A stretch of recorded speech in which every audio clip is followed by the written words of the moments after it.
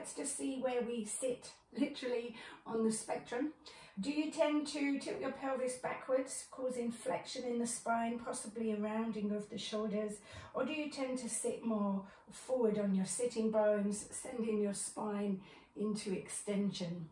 Wherever you are, we always want to look to become into a more neutral position. So the weight's central on the sitting bones, shoulders stacked above the hips. And if we can think of the spine as going in two directions, from the back of the waist, lower spine heads towards the floor, and also back of the waist, upper spine heads up towards the sky. So we can close our eyes and just gently encourage the spine from the back of the waist in those opposite directions.